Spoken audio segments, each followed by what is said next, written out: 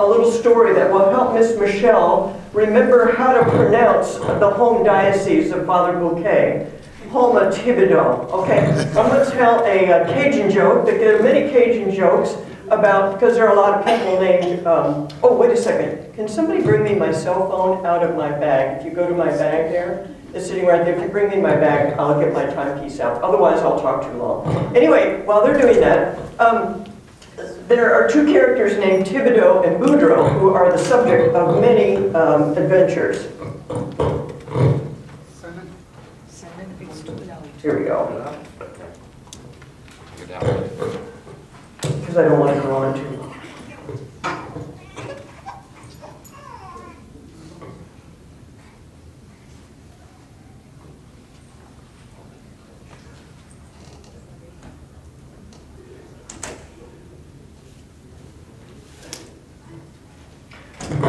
Okay, so Boudreaux and Thibodeau, they decide they want to go to Louisiana State University to play football. So Boudreaux and Thibodeau, they say, let's go down there and, and take the admissions test so we can go to LSU.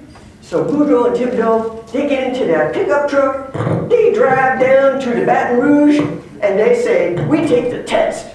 They go on home, they go back to the bayou, and a few weeks later, they get a letter in the mail. A letter to Mr. Boudreaux. It said, Mr. Boudreaux, your score on an admissions test is 75%. You is admitted to LSU. Boudreaux, he said, oh, great. Then Thibodeau, he opened his letter. It said, Thibodeau, your score is 75%. You is not admitted to LSU. Thibodeau, Boudreaux there, what? What? So, we gotta find out about this. So they get in their pickup truck, they drive back to Baton Rouge, they knock on that door, and the man come in, and he say, yes. And Boudreaux and Thibodeau, they say, we want to know what is going on here. Oh, Mr. Boudreaux, let us look at your examination paper. On question 13, you answer, I don't know. Mr. Thibodeau, on your question 13, you say, me neither.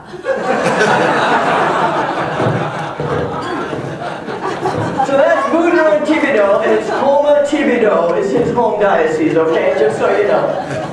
All right. Now. We'll give you a pop test later on to see if you can say it. And spell it. Don't even think about spelling it, but that's okay. All right. So, uh, I was asked to talk a little bit about the sexualization of children, and I was happy to do so because this is an important, although very grim topic. All right, and that's why we started with a little bit of levity, uh, because what we're about to encounter is not very nice, actually. And the title I wanted to use, actually Miss Michelle vetoed, but I'm going to put it up there for you. What I wanted to call this talk was Baked in from the Beginning, Pedophilia and the Sexual Revolution. And what I want to show you is that from the beginning, from the very origins of the sexual revolution, the, the pedophilia has been latent in some way. And I want to explain how that's happening. And it's now coming to the fore. And I want you to not be shocked and freaked out when you see it, because we are going to have to deal with it. We should be dealing with it already, honestly, okay? So, um, if you remember, most of you have already looked at this brochure that I gave you. I want to just point out to you that this brochure with but when the um, scandal with Theodore McCarrick broke out in 2018, I felt I had to address it. I could no longer uh, ignore it. And it became clear to me, uh, upon reflection, when I forced myself to really think about it, that the ideology of the sexual revolution has from the beginning created a climate that is favorable to predatory behavior. Okay? It is, it provides cover for the predators, and it disarms the victims, right? Because people don't want to say, oh, oh, I'm, I'm, I, don't, I don't want to be a prude, you know, I don't, I don't want to be left out, I don't want to be uptight, right? So that's a kind of disarming of the victim, and it provides cover for the predator because, uh, after all, everybody's entitled to all the sex they want, right? As long as it's consensual. Well, we found out that that term consensual cannot bear the weight that we're asking it to bear, right? I mean, they're just, it's just not good enough uh, to do everything that we actually honestly think it needs to have. Um, and so, um, one of the things that took place in 2018 that I want to call to your attention before I go into the other material is that right around that time, I had hired Father Paul Sullins uh, as a senior research associate at the Ruth Institute. He's retired, he's a married Catholic priest, he used to be Anglican, and he was a professor of sociology at Catholic University of America for a long time. And he came to me and we were talking about it so on. He has done a variety of research on uh, the impact of same-sex parenting on children. And so I said, I think this would be a good fit for the Ruth Institute. And in fact, uh, the brochure I mentioned to you yesterday that has research about same-sex parenting, a lot of that comes from work that Father Sullins has done. So I said, this is a good fit, great, this is great. So uh, he's been working with me for, I don't know, a couple of months. The Theodore McCarrick scandal breaks out, everybody's talking about it. I pick up the phone and I start nerding out talking to him about the John Jay report, uh, which was this big report commissioned by the U.S. bishops that basically said uh, that homosexuality wasn't an issue in clergy sex abuse in the United States. And I said, you know, Father Sullins, are you familiar with the John Jay report? He goes, are you kidding me? Of course I'm familiar with it. You know, of course he knew everything about it. And, uh, and shared my assessment that this was not uh, correct. But, and then he says to me, you know, the Pennsylvania grand jury report is out there and, which is this huge document. I don't know if it made news over here, but this is a very large document done by the Attorney General of the state of Pennsylvania.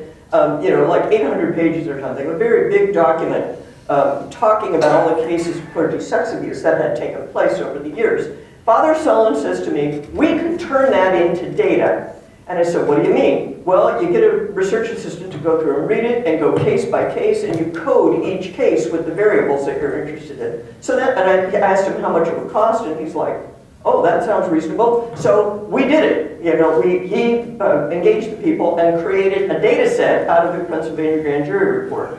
And so therefore, what we, he ended up doing was to analyze that data with a new report that came out in 2018 and he asked the question of this body of data, is Catholic clergy sexual abuse related to homosexual priests?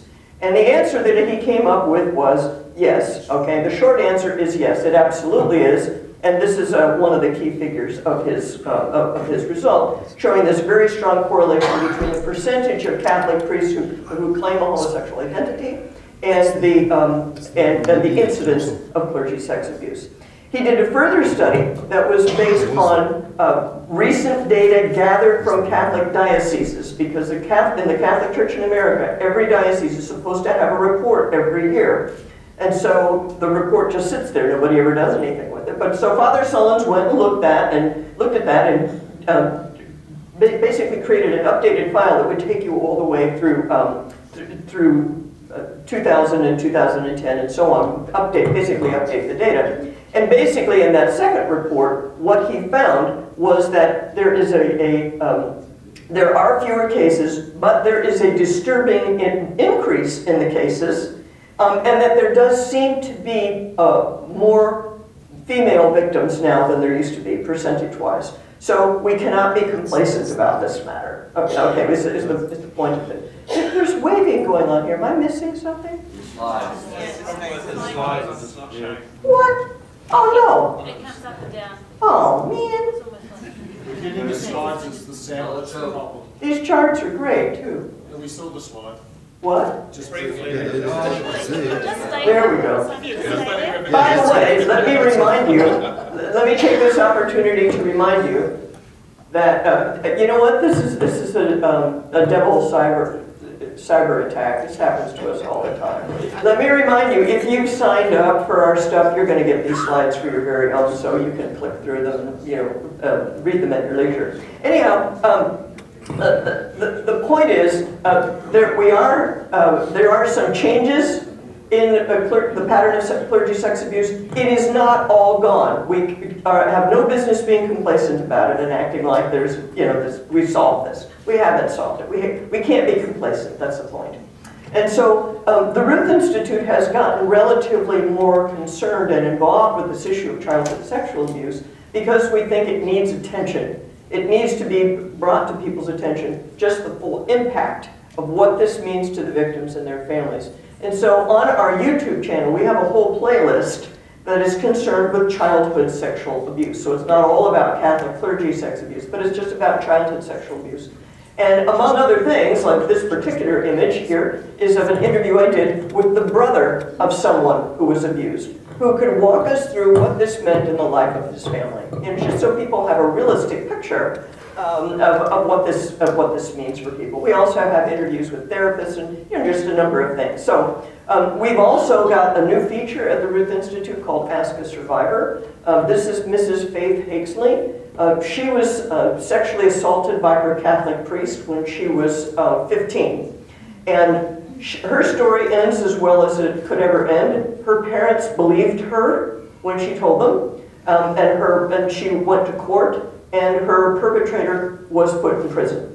Okay, so that's about as good as it gets from the perspective of a victim, but she still is making herself available to talk with people about what this is, what this whole experience is like. And we're trying to educate the Catholic public in particular about why we need to be um, attentive uh, to this issue, okay, and not, uh, not try to be swept away with sort of ecclesiopolitics uh, and its implications for ecclesiopolitics, but to, to really think about the victims and what it means to them. So, and, and in particular, um, we, I think, I would say from the perspective of an American, in, in the early rounds of clergy sex abuse, in 2002, liberal Catholics used that as an opportunity to do two things. One, to make John Paul look bad, and number two, to say the church's teaching is out of date, okay, and needs to go away, okay? So our approach at the Ruth Institute is completely um, the opposite of that, we don't actually care who looks bad or who looks good. We just want to know, did they do it? You know, that's kind of more important. Um, but also, we believe in the teachings of the church. And so you will find that the victims and survivors that we interview and talk with are not people who are going to stand there and pound the pavement and say, we got to get rid of celibacy or we got to get rid of, the church has to reform on homosexuality. But that, those aren't the people who are drawn to us. The people we interview and talk with are people who believe that implementing and living out the church's teaching is the solution to all of these problems. So um, it's an interesting opportunity and an interesting moment for the church right now. Okay, um, so the three things I'm going to talk with you about in this presentation. I'm going to talk to you about how pervasive pedophilia and childhood sexual abuse and sexual harassment, how pervasive it is worldwide and throughout sectors of society. Secondly, I'm going to talk with you about the early proponents of the sexual revolution and some of what they taught and believed and wanted to have happen. And you will see that the sexualization of children has been part of the agenda going all the way back to the 1930s. Okay? Um, and then thirdly, uh, I want to show, and this is, I think, the most crucial thing for us to understand kind of analytically, is that the ideology of the sexual revolution demanded that we redefine childhood, that we redefine what it means to be a child, what children need from their parents, okay, and how we ought, what kind of policies we ought to have regarding parents and children. That is baked, that's what I mean when I say baked in from the beginning, that this has all, all been part of it. So, let's first of all uh, talk about how pedophilia and sexual abuse is pervasive among global, global elites. Before I say anything more, I want to say that people in the room, in a room this size, there may be somebody who is themselves a survivor of some kind of sexual abuse or harassment. Surely, when this goes on tape and goes on the internet, there will be people who watch it who have had this kind of experience. So what I want to say is that I recognize that PTSD is a real thing post-traumatic stress disorder is a real thing. If you are triggered or upset, just stop the tape, you know, and, and do what you need to do to take care of yourself, okay? One of our uh, speakers that we had a couple of years ago gave a talk on her experiences being sexually abused by both of her parents. And by the time she was done, she could barely walk because that experience of talking about it was, you know, was a, a restimulation. So that's my word to survivors. Now I want to say a word to everybody else. False accusations are a horrible, horrible thing. PTSD is real, triggering is real, and trivializing sexual abuse by saying, I'm triggered over every little political thing that comes up, you need to stop that. Anybody who does that, that is an awful thing to do. And false accusations for political purposes, also an awful thing to do because it makes it very hard for people who have actually gone through it to be believed and, and accepted. So, with that in mind, the global ruling class likes the sexual revolution. They like it just the way it is. You guys know that by now, right? The global ruling class likes the sexual revolution just the way it is, including pedophilia. They like pedophilia just fine. So I'm going to give you a few examples to prove why I, why I believe this. The Southern Poverty Law Center is a wealthy uh, organization in the United States. I would call it a race baiting organization. And they're, um, they're the ones who come, come up with a list of who counts as a hate group. Okay, so I'm a hate group, according to them. I wear this as a badge of honor that these people think this about me. But anyway, um, one of the things that's come out in the past few years is that their founder, Morris Dees, was sexually harassing his female subordinates on a regular basis. Okay? And no one in the organization would do anything or say anything about it. It was this whole culture of silence. They were all intimidated into silence. And uh, I interviewed a guy who wrote this book, Making Hate Pay, my friend Tyler O'Neill there. The next example, public schools in the United States. The title of the book here is Passing the Trash. What do you suppose that means? That means they found a principal, school principals causing all kinds of problems. They just kept moving them around and nobody would stop, okay? Same problem, different institution, exactly same problem. The next example, which is in some respects the worst, is the United Nations, okay? The United Nations has its whole series of sex scandals that have come out over the years. One of the grossest is their peacekeeping, their, their peacekeepers who uh, basically coerce children in the peacekeeping camps with food for sex kind of rings. Okay, and in multiple countries this has come out. Okay, and it's documented in this particular book, but it's, it's been in the newspapers and so on and so forth. But, and in, in, in addition to that, this particular individual, Peter Newell, uh, was himself individually, personally found guilty of, of sexual abuse. And he is the author of, you can see what it says here, children's rights advocate found guilty. Okay, what they mean by children's rights advocate is that he is the author of the implementation of the handbook of the Convention of the Rights of the Child. All right, and what they mean when they say the rights of the child, they mean the children's rights to have sex without their parents knowing about it. Oddly enough, this man likes to have sex with children. Okay? That's what we're dealing with with the United Nations.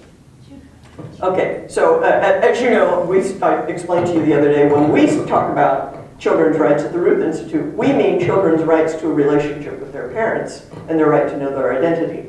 When the UN talks about the rights of children, they mean children's rights to have sex without their parents knowing it. Um, and then, of course, we have sexual abuse by Catholic clergy. The patterns are the same. Now, as Catholics, we have this, this is very hard for us. This is very painful for us to see this and face it.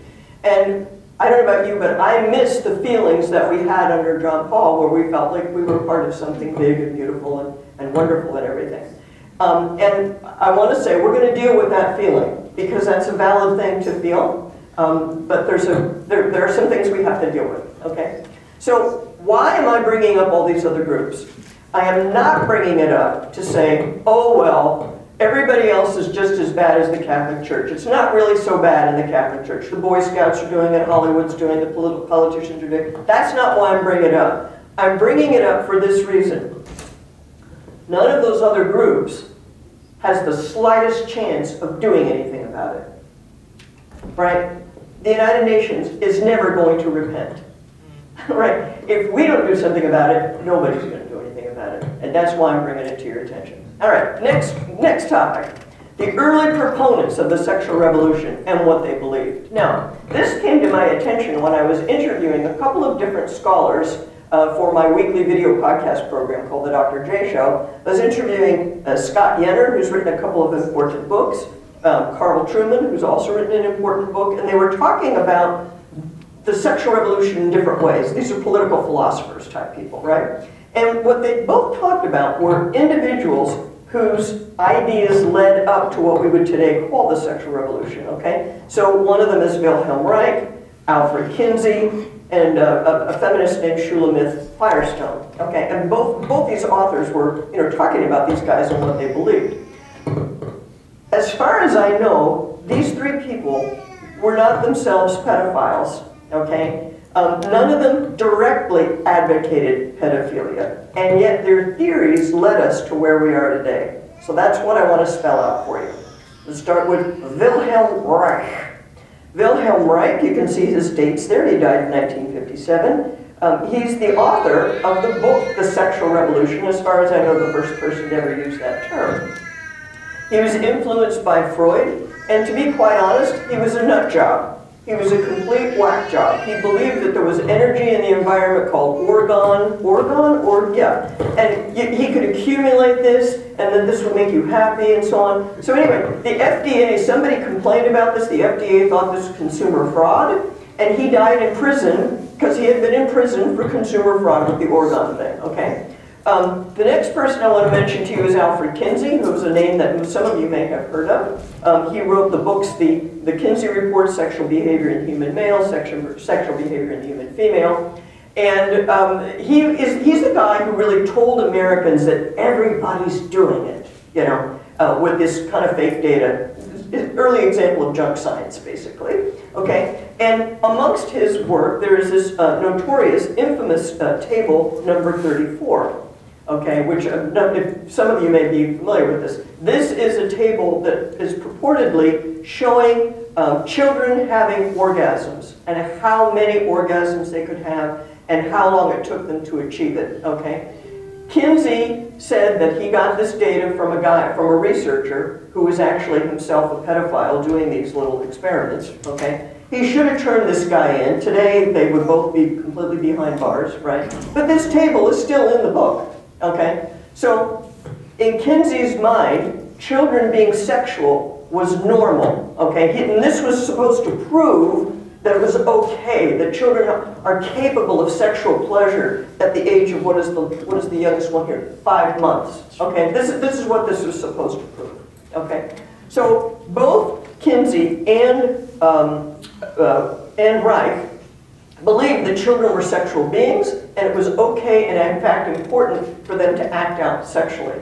Most of the time they were thinking about kids being sexual with other kids, but it doesn't matter. They're sexual beings. That's the key point about them. The final person I want to mention is a feminist, a very radical feminist named Shulamith Firestone, who is the author of The Dialectic of Sex, um, the case for the feminist revolution. And her, um, her position was that in order to have true liberation for, for women, you have to completely neutralize everything having to do with childbearing. And so she had the ideas, again, that kids should be sexualized, that kids should be allowed to have sex. Kids don't really need their parents that much because if you admit kids need their parents, then mom's got to be there, and then it's not going to be equal anymore, and so on and so forth. So this is, she's a very radical um, feminist uh, uh, person. Broadly speaking, what these three figures have in common is they were all influenced by Sigmund Freud. They all believe that the worst problem out there is sexual repression. That sexual repression makes you crazy, okay? And so we need to get rid of the taboos and so on so that people don't be re repressed anymore. And that the taboos are the, are the harmful problem.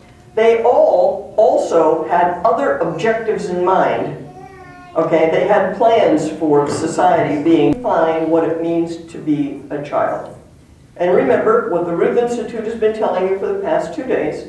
Every human being has the right to a relationship with their parents and a right to know their identity, right? And this means a stable relationship with mom and dad. And the taboos protect that. The taboos make it possible for us to have that. And so, in, in order to go a little bit further with this, I'd like to take a minute and just talk about childhood and parenthood from what I think is a reasonable, rational uh, type of position. Okay? Uh, back, the very first book I wrote was Love and Economics, which I wrote in 2001. And the first edition of it, you can see there, the subtitle was Why the Laissez-Faire Family Doesn't Work, which was a disaster of a subtitle because no one knew what it was talking about. Um, so with that publisher went out of business, the rights reverted to me, the Ruth Institute brought out another edition in 2008, and we gave it a subtitle, Love and Economics, It Takes a Family to Raise a Village. Well, now people have a little bit better idea of what this book might be about. The reason I wrote, I want to just take a minute to tell you why I wrote this book, what motivated me. Um, in 1991, my husband and I became parents for the first time. And the way that happened is I had been a heartbroken career woman, as I had told you a little, hinted at a little bit before, that I, I had postponed childbearing and thought, oh, now, now that I'm about to get tenure, um, now it's time for me to have a baby. Uh, It's time for us to have a baby. Actually, I, it, it was about me. It was time for me to have, honey, I want to have a baby now. Let's have a baby now. Well, imagine my surprise. Are we okay? Are we good? Can we just move that microphone down? Which one? That's a good question. This is the recorder. This is the noisemaker. Excuse us. You can cut this out when you put it up on YouTube, okay? All right. Is that better? It's working for me. All right, is this better? Okay. well, anyway, anyway, so, well, anyway, imagine my surprise when the baby did not arrive during the month that I had set aside for it. Right?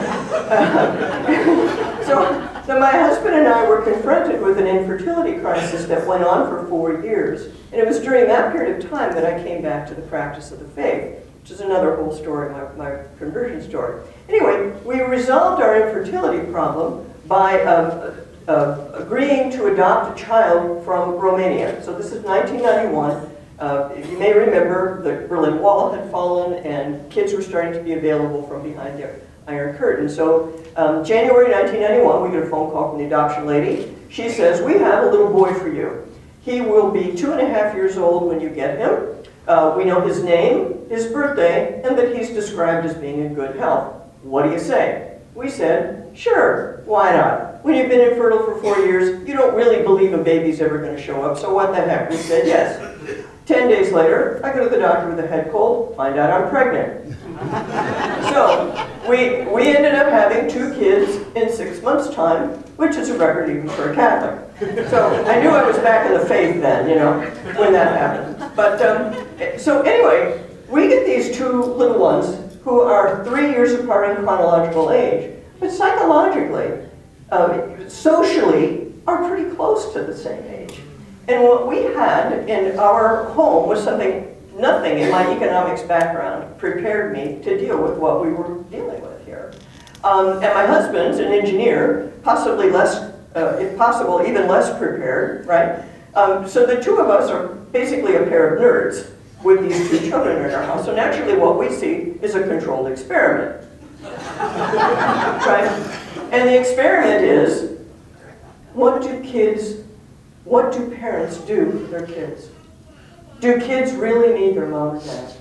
This is the experience that convinced me that kids really, truly need their mom and dad. Now let me just give you a couple little examples of things you wouldn't know. Most of you know intuitively, but you wouldn't know if somebody didn't explain it to you. Our little boy had speech problems. All the kids who came from Romania at that time, they all had speech delays. All of them did. And so we took them to different speech therapists and so on. We found out that children, uh, there's a part of the nervous system that needs to be stimulated in order to prepare you for language. Is, and they stimulate it. They put the kids in a little spinner, and then they do the and then they do the um, speech therapy, and this helps. Okay, so now you think about what do moms and dads naturally do with their kids? You take well, first of all, we rock them. Don't we rock them, moms? Have you ever seen a mom in the checkout line at the supermarket with a baby on her hip? And she's got the baby on her hip and she's going like this. She's just standing there in the line, rocking the baby like this. And she's emptying her buggy onto the car, you know, and she's rocking it all the time. And what's dad doing? Dad's going like this, bouncing the baby, right? Bouncing him then the baby. it's hilarious and it's fun and everything like that. What you're doing without realizing it is you're stimulating the child's nervous system, getting them ready to talk. Well, who knew, right? Well, so you leave a kid in a crib for two years, none of that happens. You gotta add that in. You gotta put it in consciously, all these things that you would routinely and ordinarily do. So this is what motivated me to write Love and Economics, was to try to explain to the economists uh, why it was so important that we attend to the policies around the family. Because if you've got kids who are never attached to anybody, they end up having trouble developing a conscience. If you've got too many people without a conscience, you can't have a free society. You can't have a free market. If everybody's stealing everything they can get away with, it's crazy. It's not going to work. So I was trying to convince the economists that this was, that this was important. Um, and, uh, and, and in the process of doing that, that's when I came into contact with a lot of social conservatives, religious people, and so on, because the economists didn't want to hear it. I mean, it was complete failure from that perspective of wanting to, you know, wanting to uh, convince the economists of something. Do we owe the children more than mere survival? See, and a lot of my libertarian friends wanted to say, uh, you know, uh, they're free agents, um, you know, you don't have any obligations really, mm, well, you voluntarily, blah, blah, blah, they, don't, they don't have a clue how to even conceptualize it, right? So my concerns uh, with love and economics, when I wrote it in 2008, I had a very important social concern, which was to convince young women that their lives as mothers were extremely important. More important, it's more important what you're doing at home rocking the baby than anything you're going to do in the office. Okay, that was my chief social concern in writing that. And my policy concerns, I was worried about uh, unmarried parenthood because if there's separation between the mom and the dad, the mom doesn't have the support she needs to be there doing everything that needs to happen. So I was concerned about um, independent, single parenthood, unmarried parenthood. I'm obviously concerned about divorce, as I mentioned yesterday. Uh, I was worried about inappropriate welfare state rules that were incentivizing separation. And finally, it sounds almost charming, naive to say this, but in 2001, I was worried about too much daycare. I'm actually still worried about too much daycare, but that ship has sailed, you know what I mean? It's like nobody wants to think about whether we have obligations uh, and authentic constraints, you know, on, on how much time we should be putting our kids in daycare. So anyway, um, all of this is to say that the idea that kids need their parents is, I, would say, central to the Ruth Institute of this mission, and we have a 15-minute video on that if you want to you know, go into a little bit more detail about it. So our vision of childhood, and I suspect everybody here shares this same vision of childhood with the Ruth Institute, is that uh, it, it's completely different from what Shulamith Firestone and Wilhelm Reich and Alfred Kinsey have in mind. If, if adults have sex without any taboos, children will not have permanent access to both of their parents. That's what we, that's what we are concerned about. They're not necessarily even going to know the identity of their parents. And as I think we as a society can't allow ourselves to know psychologically, we can't let ourselves know how serious this problem really is. Like, it would upset us too much. We'd be too ashamed, right? So the number one lie of the sexual revolution, in my opinion, is kids are resilient. They're not that resilient. So the way parenthood has been redefined, this is what I want to put in your mind here. The parents are not really the protectors of their children. Actually, parents are potential abusers, and this is the main thing we should see in parents. They are a problem. They are not there to protect the children. This is the revolutionary view. The experts know the child better than the parents do. This is another part, aspect of it. Some of you have lived this, right? Confronted experts who are telling you what to do. The parents don't really have the best interests of the child at heart. The state and the experts have the best interests of the child at heart. And children need to have sex without shame, apology, or hindrance. Wilhelm Reich even went so far as to say that the state should subsidize housing for children so that they could have their own place to live, so they could have sex without the parents interfering with it. And if you think about what the welfare state has done in the United States, we're pretty much there. We're pretty much there. That a 16-year-old can end up getting her own money uh, and, be, and live in an unsupervised manner and, and be able to do what she wants, with or without a father that's permanent, and so on and so forth. So we're pretty much there. So the problems with this, of course, is that this system that they're creating in their minds sets the child up to be a victim of authentic pedophiles. So even if Kinsey wasn't a pedophile himself, he's attracting pedophiles. right? Who's going to be drawn to this philosophy that he's cooked up here, right? People who actually do want to have sex with children. They're going to be drawn to them. The parents actually do know their child better than anybody else. You, you take a kid for a 45 minute interview and they know better than you. It's crazy, right? But so, so that's also uh, false. And it, it sets up socially what I would call a race to the bottom, where we say, we're going to provide food for the child because we can't be sure that you're going to actually provide them with school breakfast. And so the parents do less. And then you provide them with school lunch, and they do even less. And then you provide them with this, and they do even less and less and less. It's kind of a race to the bottom to see who's going to surrender the most rights and, and privileges to the child over to the state. I already mentioned uh, that uh, my friend Moira, Gray, Moira Greyland uh, gave her testimony about what it was like to be sexually abused by both of her parents. And what I want to say about this is that I, the, the fantasy that people like Kinsey had is that if, if the adults would just relax about this stuff, the kids wouldn't really be upset. You know, it's just because it's all the taboos that are causing people to be upset. Well, I can tell you from Moira's testimony and the testimony of many other people, I have never talked to anyone who said that, who said, yeah, all the adults around me said it was fine, so therefore I didn't care. No, they all knew somewhere in their minds and bodies that it wasn't okay. No matter what was going on around them, they knew it wasn't okay. All right? So this is part of the fantasy of the sexual revolution, and it's really a form of gaslighting. You could say to tell them, oh, it doesn't bother you. It doesn't really bother you. It doesn't really matter. So let's go back to this point that I raised earlier on. That as Catholics, we actually are part of something big and beautiful and significant. The movement to reclaim society, to defend the family, this is important, it is good, and the Catholic Church is right at the center of it. It broke my heart yesterday to hear what John Smeaton had to say about the missteps in the UK, where they said we're not going to include the Catholics uh, in, their, in their campaigning. In the US, I can tell you for a fact, the heart of the pro-life movement are the Catholics. And everybody knows it. And the Protestants are grateful to us, actually. They're, they're, they're willing to be grateful.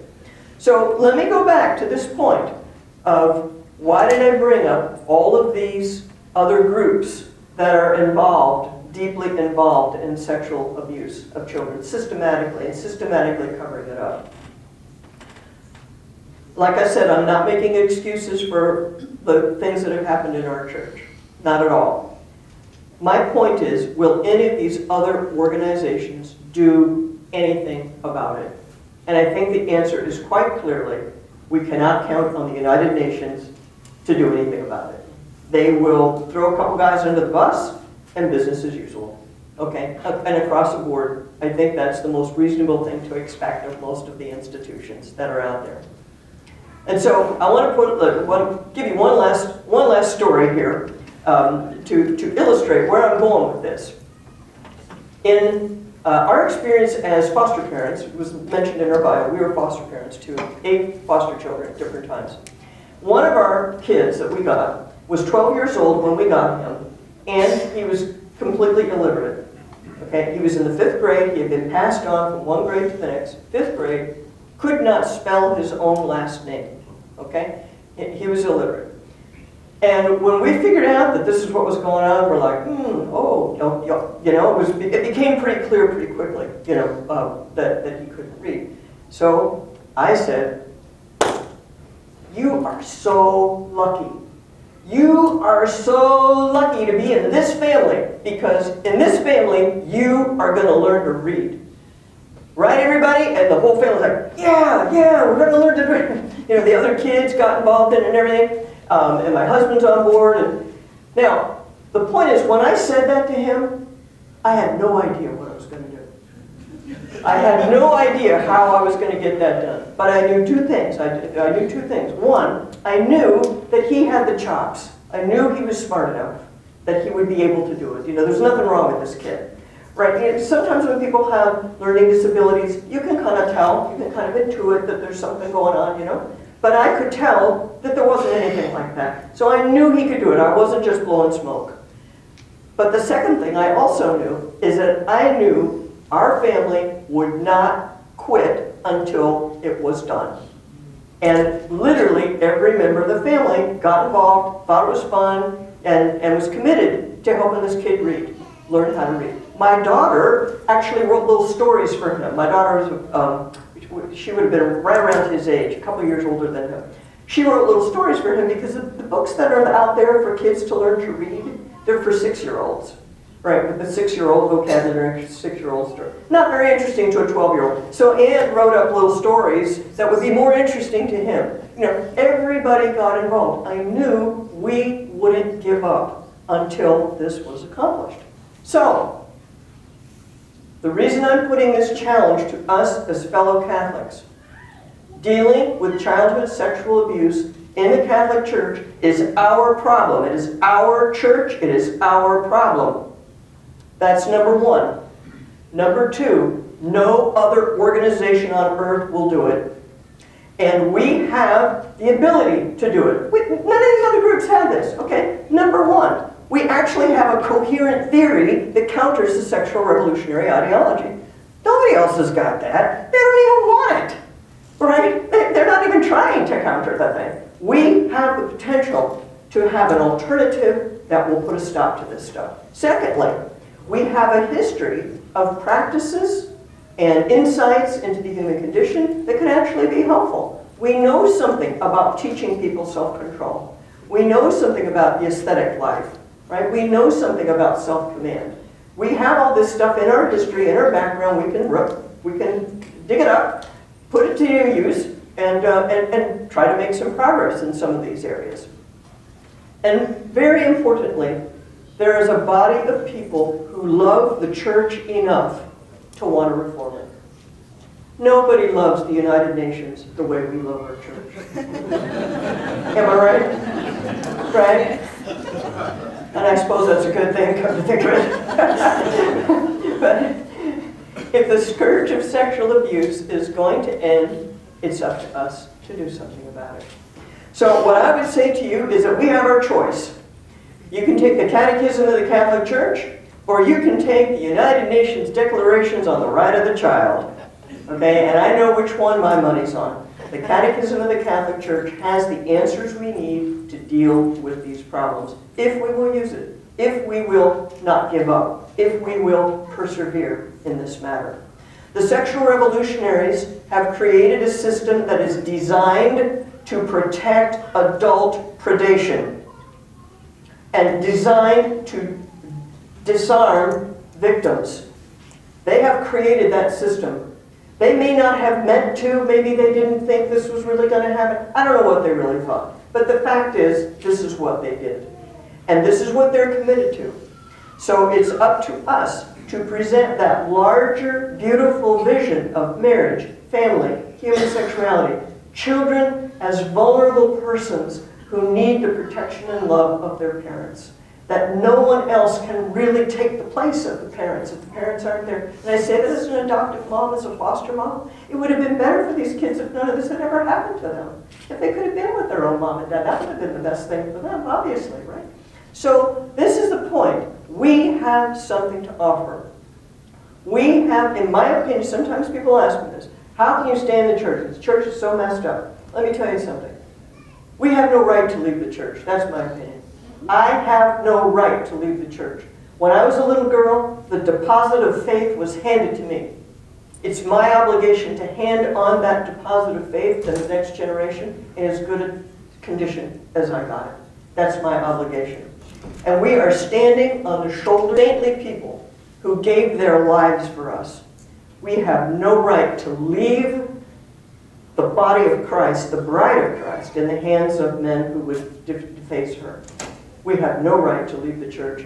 That is why I am a lifelong committed Catholic, and we are going to do something about this. Thank you very much, people of New Zealand.